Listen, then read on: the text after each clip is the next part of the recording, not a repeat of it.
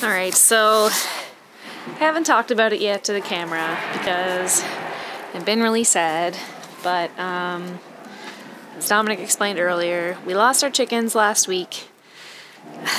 The neighbor's dog got into our coop and um, I guess he was taking them back and forth and he got nine of them, so we had two left.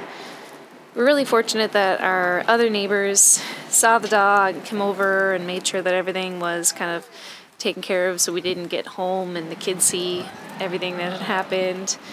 And, you know, it was like, I know that these things happen and I knew that um, it was eventually going to happen to us. I just didn't think it was going to happen so soon. And I was really sad. I, I mean, I, I still am really sad.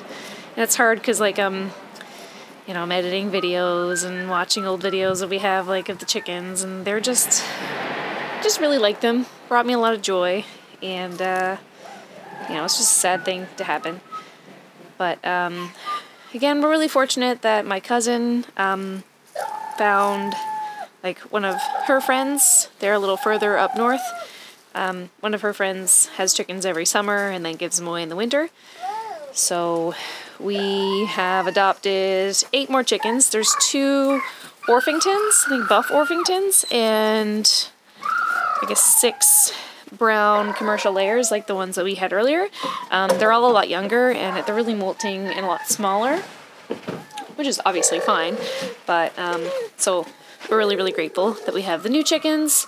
And the two that were left over, or the two brown ones, are they seem like they're fine. I think they're laying eggs again, so hopefully they're not too stressed out. And yeah, so the only thing is like all of the commercial layers, like the brown ones, are kind of wandering around the yard in the coop, and the Orpington are just like up in the roosts. They're they're not coming out. um, I guess that there was a hawk attack right before we got them at their previous home, and they might be a little bit stressed out about it. So Dominic took them outside and put them in the coop, and they went right back inside. Um, they are eating, fortunately. So, like, that's a good sign. I'm gonna give them a few days. I'm gonna give them however long they need, I guess. I mean, they're fine in there. As long as they're eating and drinking water, um, they're okay. But they seem like they're a little bit spooked. And they're just hanging up on that, hanging up on that roost. And then the other ones that we got, the brown ones, I went in last night to put the food in and close up the coop. And there was like four of them on one nesting box. There was like three that fit, and then one was sitting on top of them. So, Dominic, what was it like in the morning? Were they were they still in the nesting box in the morning, or were they the, on the roosts? What? Were they still on the nesting box in the morning, or were they up on the roosts? Um, it was already light out when I left. Oh, them, yeah. So they were up around. It's hard to tell, so maybe we'll figure out tomorrow morning. I'm sure that they like get up on the roost. Hopefully. Either way, you know, that's it. So we'll show you. Yeah, they are up on the roosts. So we're gonna show you the um, the new chicken flock, and it seems like the like the two flocks coming together doesn't really seem to be a problem. I think like they're both coming from like the two are left over, and then the other ones are all coming from somewhere and going somewhere new, and they've all had some sort of tragedy very recently. So I think they're all just dealing with it fine. So anyway, here's the new chickens.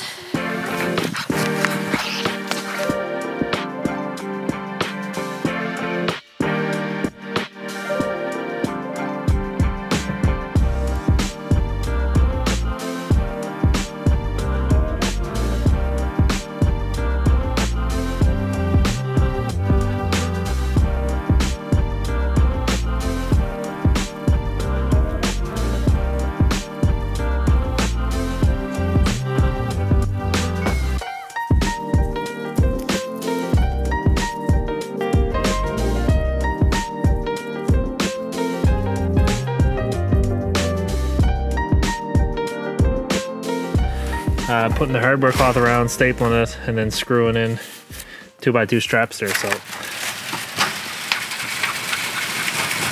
nothing pulling that off now, I don't think.